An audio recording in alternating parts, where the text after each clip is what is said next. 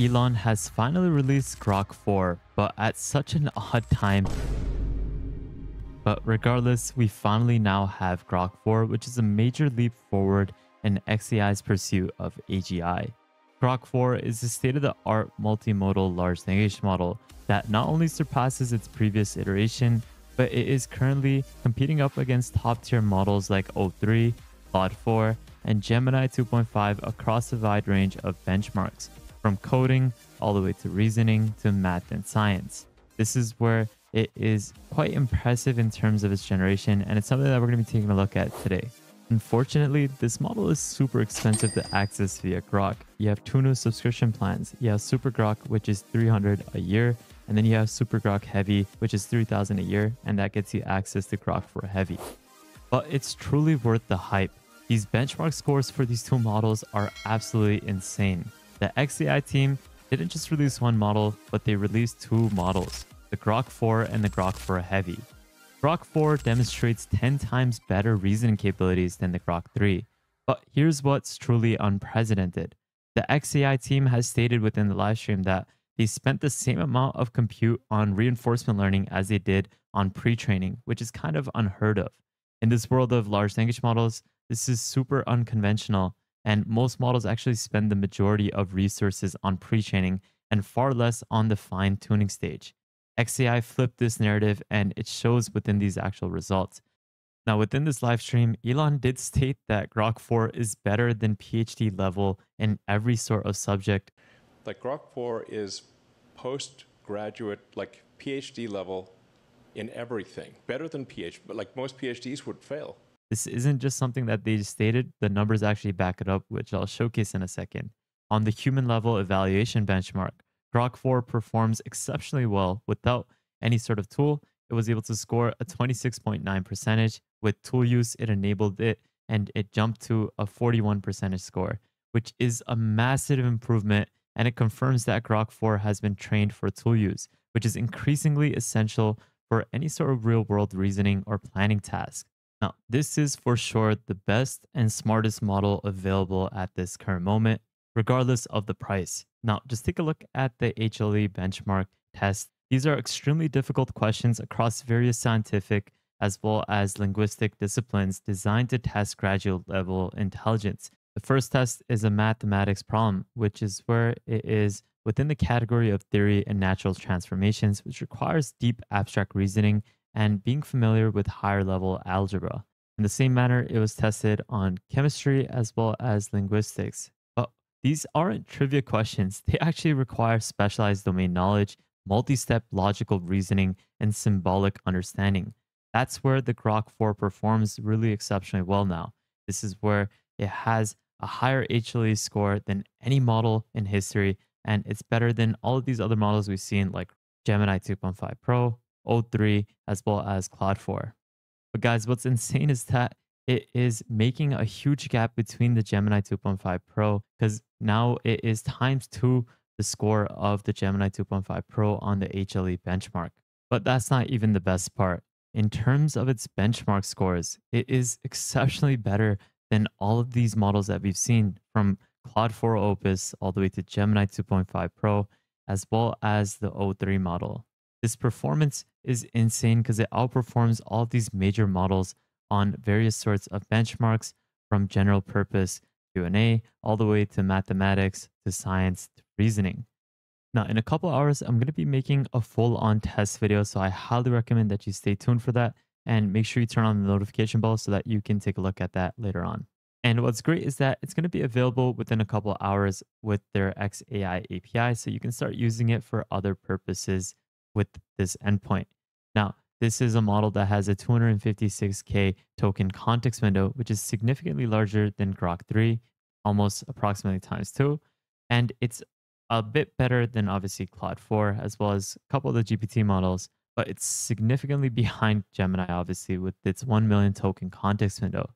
It is a frontier level multimodal model, which is capable of reasoning across text, code, and image inputs.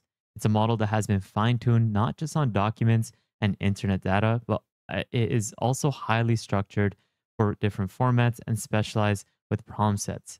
It supports this real time data search uh, feature, which is something that will allow it to integrate live information into its output, which is a crucial feature for dynamic environments like social media analysis or even finance and customer service. It's something that includes function calling, structured outputs, and has strong support for complex tool based workflows, which is kind of similar to OpenAI's function calling or Google's tool format integration. Now, in terms of security, they have stated that they have provided more refined enterprise grade security, which is nice for different corporations trying to add this new XAI model.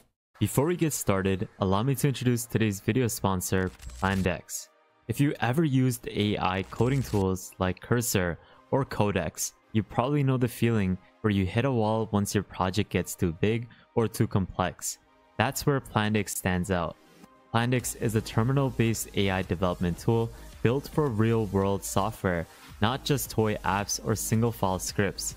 It can plan, execute, debug large-scale coding tasks that span dozens of files and millions of tokens.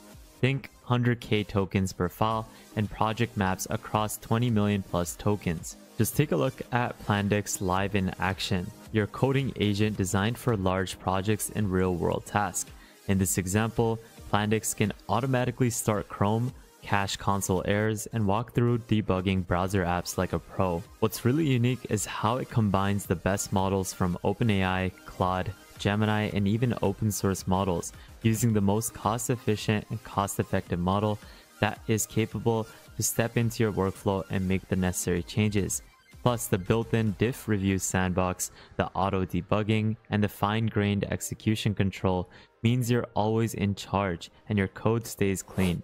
So if you've ever felt limited by other tools, definitely recommend that you give Plandex a shot as it will push the boundaries of what's possible with AI assisted development with the link in the description below. But with that thought, let's get right back into today's video. Now, if you're interested in the pricing of the API, it retains the same pricing structure as Grok 3, which is where it's listed at $3 per 1 million input tokens and $15 per 1 million output tokens. It has a 75 cents per 1 million cache input tokens, which is kind of similar to the Claude 4 Sonnet. But in this case, it outperforms that model as well as many others in multiple different benchmarks. Now, although Grok 4 is super intelligent, it's not something that is ready for coding. Now, I'll explain this in a bit, but in terms of visual structure output as well as with UI mockups, it's not at that level. It's pretty decent. This is something that it was capable of outputting a crypto dashboard that it generated. Now, in my opinion, Claude 4 still is better with UI mockups and component layouts, but I'll explain why Grok 4 will be better in the next couple of months. This is because the XAI team is planning on releasing a coding model next month, and this is going to be a revolutionary coding model that will assist in all fronts from front end to back end services to tool use. It's going to be super impressive in all those fronts, which is why I'm super excited to see what they actually end up releasing for this coding model. Now, they also stated that they're working on a multimodal agent that will be coming out in September and something of a video generation type of model that will come out and be on par with the Veo 3. So this is something that will release in October. So there's a lot of interesting things coming out from the XAI team, and it's definitely great to see. Now, here's another benchmark that showcases this model's intelligence. On the ARC AGI2 leaderboard, this is where Grok 4 sets its new standard, way above all these other models. Claude 4 Opus is kind of relatively close in comparison to all these other models. But overall, this is insane because it means that Grok 4 has nearly doubled the best performance that we've seen in deployed models. And for those who do not know what ArcAGI is, it is one of the hardest benchmarks in AI, and it's essentially to assess how smart a model is and often considered a proxy for early AGI capabilities. But overall, this is an impressive new model, and I highly recommend that you take a look at all the resources that I used in today's video in the description below. But that's basically it, guys. Thank you guys so much for watching. I hope you enjoyed today's video. Make sure you subscribe to the second channel if you haven't already. Make sure you join the newsletter as well as our private Discord. Make sure you follow me on Twitter. And lastly, make sure you guys subscribe, turn on notification bell, like this video, and please take a look at our previous videos because there's a lot of content that you'll truly benefit from. But with that thought, guys, thank you guys so much for watching. Have an amazing day. spread positivity, and I'll see you guys fairly shortly. Peace out, fellas.